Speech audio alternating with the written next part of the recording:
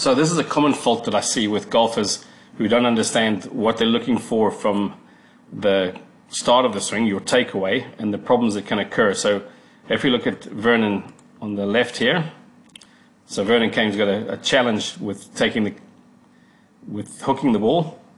And as I showed him on his takeaway, he starts the club back, the club goes back on quite an early inside path. Because of that here, his club face is really, really closed.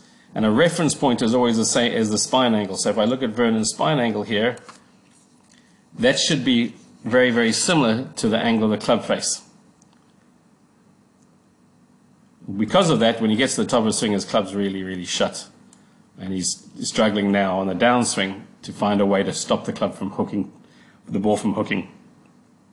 So all we did, you'll see now in the picture on the right, is we we got him to understand the actual path of the club taking the club back straight. Okay, and for him that felt crazily outside the line.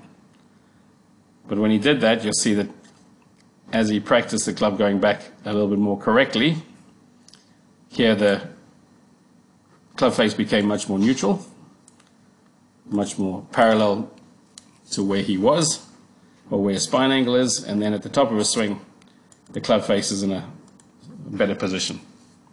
So this closed club face and, and all the problems that it can create are often associated with a poor takeaway.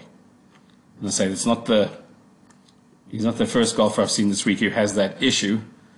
Okay, so if that's something that might help your game, give it a try. Otherwise, give me a shout and we'll have a look at it a little bit more detail. Cheers for now.